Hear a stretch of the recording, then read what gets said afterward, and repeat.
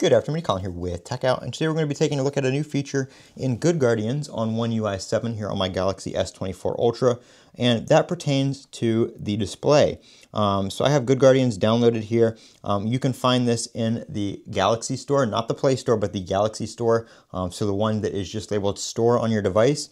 And when you download this, there is uh, all these different modules here that you can download additionally and um, you can do like thermal guardian and this will show your device temperature and stuff like that um, and it will give you like little tips and tricks and uh, show you your threshold, your CPU usage and temperature and stuff like that. So uh, that is pretty cool. Um, you can see I had my phone plugged in and charging um, and the temperature started going up and now it's unplugged and the temperature is going back down. So you can set the thermal threshold and choose what the phone will do to cool down. Uh, but that's something that's always been here. Um, so that's not what we're going to talk about today, but that's just part of what Good Guardians is. Um, so if you download Battery Guardian right here, you're going to see these screen power saving options that say supported by Display Assistant. Now Display Assistant is new and it is currently in beta. So if you tap one of these and you don't have Display Assistant installed, um, it will take you to the Galaxy Store to download the beta version of Display Assistant.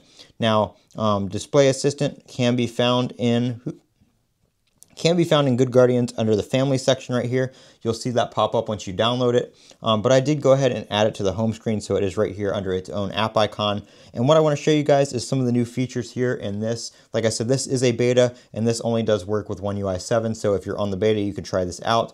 Um, but if you're still on One UI 6, uh, this is something to look forward to when you get that One UI 7 update. Um, so you can choose screen timeout individually per app. Um, so we'll go ahead and check one here and we'll just try the, let's see, what's an app that we don't want the phone to timeout on? We'll go to, um, where's YouTube? Let's go to YouTube. And these are so, uh, separated by app category, not uh, alphabetically. I might have passed it. Nope, here it is. So it's under video players. So YouTube, and I think you can choose, um, can you choose? No, you can't choose video players as a whole, but um, so you can choose the screen timeout options here. So individually per app. Um, so if you have an app that you like to have on screen longer without interacting with it, you can set it like so YouTube won't, the screen won't go to sleep for 10 minutes while on YouTube. But then once YouTube's closed, it'll revert back to your settings that you have set in your regular settings page. Um, keep screen on.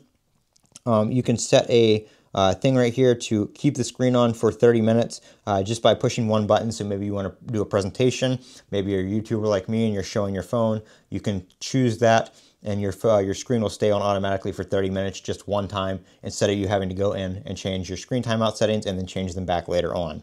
Um, the brightness profile right here is two, there's two profiles. There's your standard one, which brightness is limited at high temperatures, and then there is light, which brightness will be kept up at high temperatures, but the device cools down slowly. So you're basically what this is saying is the phone will not reduce the brightness if it's trying to cool down. Now, I don't know why that's called light, because you think light would be cooler and the screen brightness would be dimmer, but it's kind of backwards in my opinion. Um, light means that the screen will not dim in high temperature situations. So there's that. And then there are adaptive brightness options. Now I don't have uh, adaptive brightness turned on, but you can change the speed at which adaptive brightness changes the, um, the speed at which it changes the brightness.